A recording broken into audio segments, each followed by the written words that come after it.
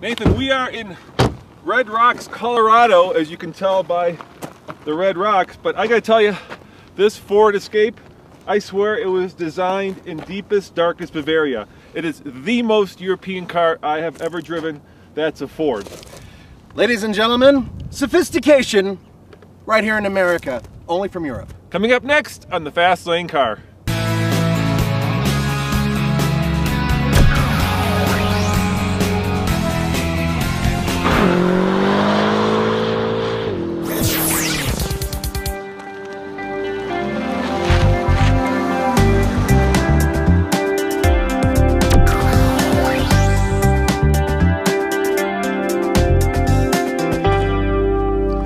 My Nama is Kuga. I think that's how the Europeans say it. Man, yours German sucks, Nathan. And it's really awful. My pronunciation is the worst ever. Here's the thing. This particular vehicle, and I'm not pulling any punches here, but I'll be completely honest. Europeans usually can design a nice looking vehicle. And this is the little things that I like. Look at the door panel and the folds right here.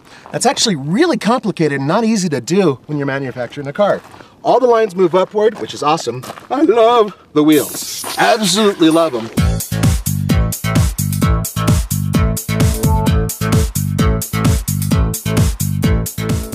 All right, Nathan, I have the sticker here, and it's, well, it's pretty shocking. Really? Yeah, look at this. Um, just over $34,000 plus $825 destination delivery, which means 35. this car is $35,000. And you do get a lot of stuff, but you don't get like a sunroof, which you would get in the Sportage, for instance, which would go all the way to the back of the car. Yeah, and not only that, but the Sportage is a lot cheaper. But here's the thing, I think that the interior quality of this vehicle is way better than the Sportage.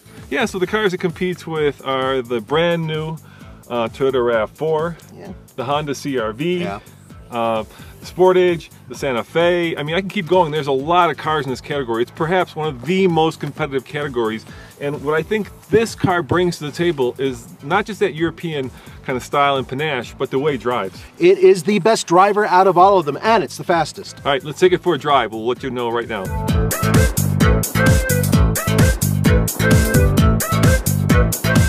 All right, 35,000 is a lot of money, Nathan, but you do get things like heated seats. You do get an automatic six speed, which you can shift yourself with this little doodad, which is usable. Uh, you get sync, which is usable. But what you really get is a fun driving experience. I mean, there is no other car in this segment that feels as sporty. And by that I mean, as connected to the road. You know, I really like the style and the look of the new Escape. It is a complete 180 from the old one. The old one was boxy and very American. Of course, this is much more svelte, uh, modern, stylish, I think handsome, but that's because, of course, I'm European. It's also very small, and I wouldn't say it's too small, I'd say it just fits right. When you compare it to cars like the new Santa Fe, perhaps even the CRV, those are much bigger vehicles.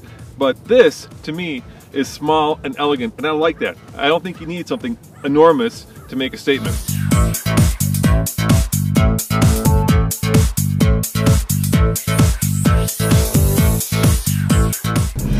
The only vehicle I might compare to this on the road in terms of response and power and everything else would be like the Volkswagen Tiguan. It, the sophistication is right up there with the Volkswagen, which is one of my favorites. Nathan, yesterday without your uh, mass, I took this Escape the fastest we've ever gone in this segment from 0 to 60. It was about 7.5 seconds, which is fast. And that's because of this EcoBoost engine, which is a turbocharged, direct injected 2 liter, which puts out 240 horsepower and 270 pound feet of torque. That is damn impressive. But here's the thing, folks.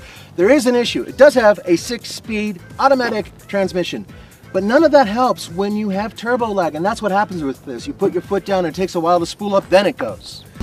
In terms of overall driving ability, this vehicle has it in spades over the competition. As fast as some of the other cars are, because we know that the uh, Kia is really close in speed, this feels more connected to the road, and at the same time, I, I feel like a driver in this. And this is a crossover. You're not supposed to feel like a driver. You're supposed to feel like, well, wimpy and boring.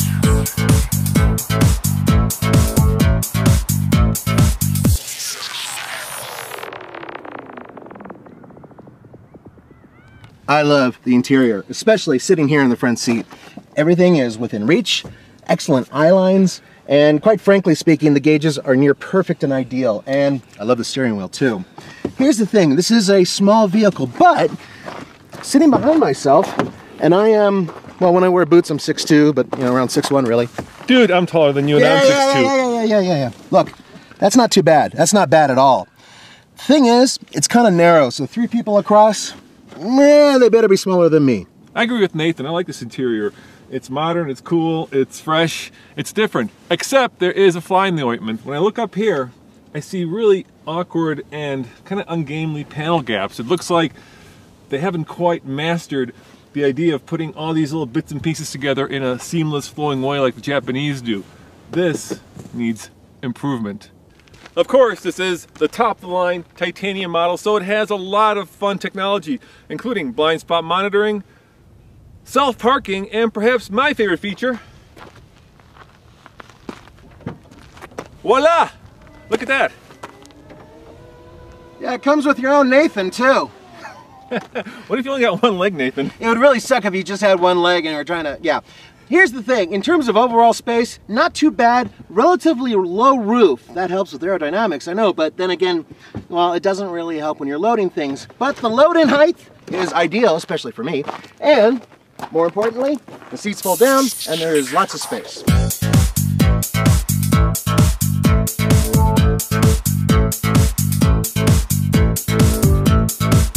Yeah, in some cars you kind of sit on top of the road, on top of the car. In others you're way down inside of it and there's no engagement. But here it makes you want to drive. It makes you want to tackle this twisty road and that to me is what makes this car such a winner in the segment. Absolutely. You know, these seats are really comfortable too. You got to admit, they really hold you well. You know what it is, folks? I'm able to point it in the direction I want to go. I know that sounds, oh yeah, typical. No, no, no, no. See, with electrically assisted power steering, sometimes you don't really know where the wheels are. And in this case, I know. And I know if I make this turn right here, it's going to go exactly where I place it. And this is a crossover. It's not supposed to do that. All right, Nathan, on the uh, TFL scale of buy it, lease it, rent it, or forget it, what do you give it? I'm sorry, Ford. I'm going to have to give this a buy it. I love it. Good car. I'm gonna give it a buy to lease. I'm kind of waffling, and that's because $35,000, no sunroof. Eh. I, I could get that, but look.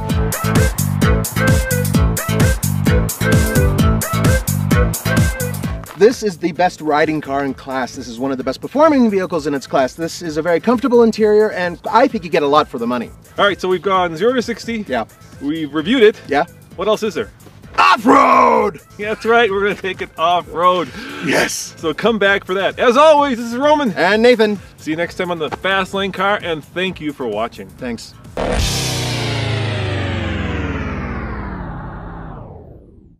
You know what the downside is, Nathan? Ah. These two-liter engines, which are becoming ubiquitous, I mean, everybody has them, and Yeah. everybody's sticking turbochargers on them to make them smaller but yet more powerful. Mm-hmm. The fuel economy, it's not great. 20.8 mpg in real-world testing. Yeah, that's not, uh, well, frankly, it's not good. No.